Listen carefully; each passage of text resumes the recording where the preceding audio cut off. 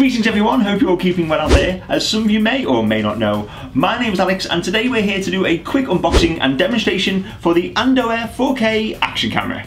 Now this is what you'd call a budget action camera. However, I'm quite curious to how good it really is since it only costs around £50 or approximately $60, something like that.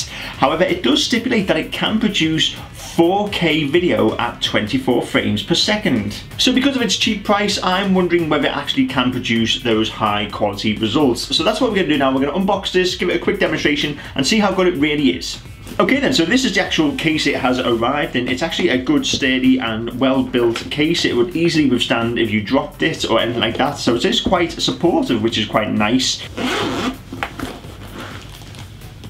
Okay, so here it is. Obviously getting quite a lot for the money that we paid for this. As you can see, little compartment there with all the manuals, looks like some extra sticky pads. And then of course, here is the camera itself. You know what, straight away looking at that, that actually looks really good. I'm quite surprised how good it looks. Let's see if we can get this out.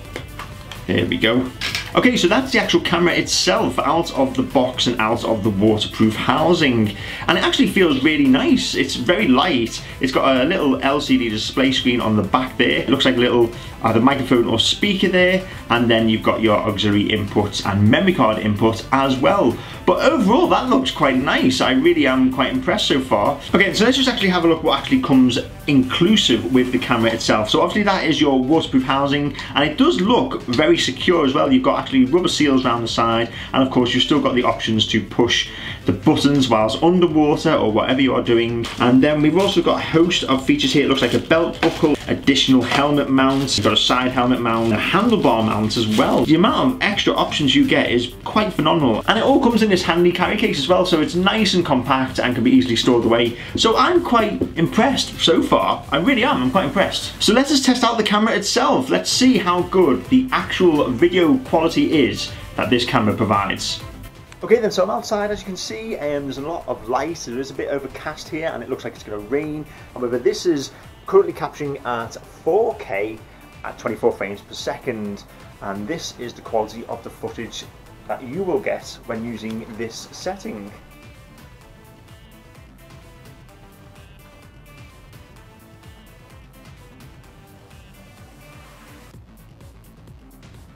Okay then, and now this is me inside my house, inside the kitchen to be precise, just ignore all the bad paintwork, it's a long story.